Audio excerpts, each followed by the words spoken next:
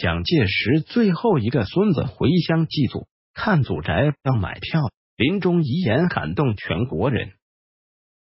一九四九年，随着全国的解放，蒋介石逃离了大陆，他的两个蒋经国和蒋纬国也已经离开了大陆。此后，蒋介石父子再也无缘回到家乡。一九八八年，蒋经国去世之后，蒋家便开始走向了衰落。除了社会影响力和势力外，最为令人心痛的是，蒋家后代相继患病去世。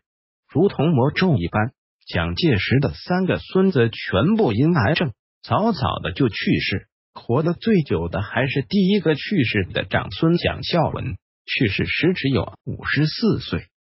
蒋介石的第二个孙子蒋孝武，一九七一年六月三十日，蒋孝武在一家酒店接受洗肾，结果当晚身体就发生变故，最后送往医院治疗。七月一日便猝死在医院，诊断结果是心脏衰竭，时年四十六岁。这样一来，原本后代繁荣的蒋介石祖孙三代，只剩下最后一个小孙子蒋孝勇。蒋孝勇是蒋家三代中最小的一个，早年很受蒋介石和宋美龄疼爱。不过，令人没有想到的是，硕果仅存的蒋孝勇，在一九九六年。被查出患有食道癌。作为蒋家第三代最后一个男丁，他希望能完成祖父和父亲的遗愿，同时也了自己的心愿，回乡祭祖。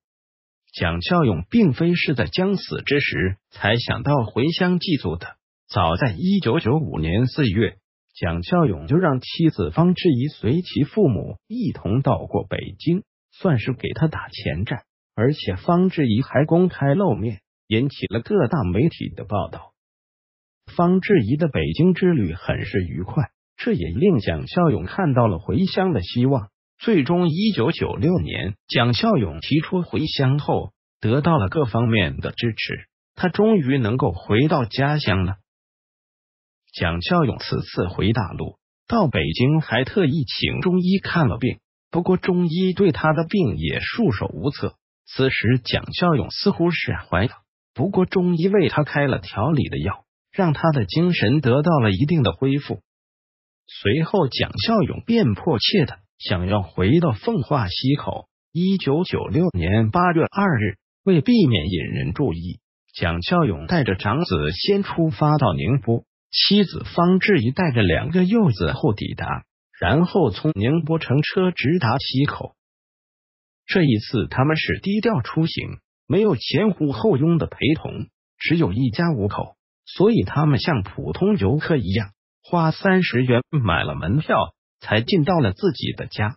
这种感觉一般无法体会。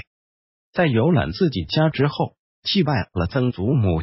不过蒋孝勇遗憾没能战胜病魔，最终在一九九六年十二月病逝了。临终前，他对儿子说：“你们要记住，蒋家人是中国人。”